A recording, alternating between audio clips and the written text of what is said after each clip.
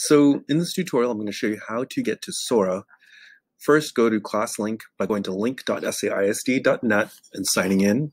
Once you get there, look for library books. It's a folder that you'll have. This little blue guy that you see right here is Sora. So I'm going to click on Sora to open it. And ClassLink automatically takes me in. So the first thing I'm going to do is explore. I want to see what books are available for me inside of Sora.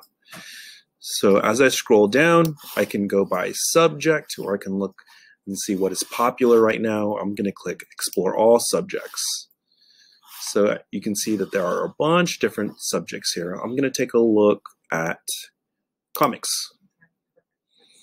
And once I'm there, I see this one here. I'm going to take a look at this. I'm going to click borrow.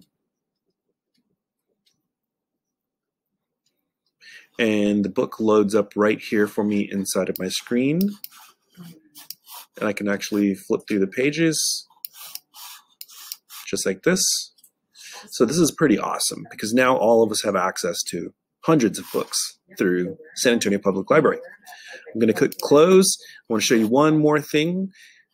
If you click on the menu in the top right, you will see your user your profile. When you click on it, look at the achievements you can keep track of.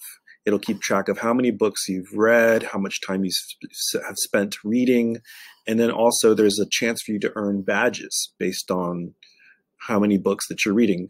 So sign into ClassLink and start reading as many books as you can.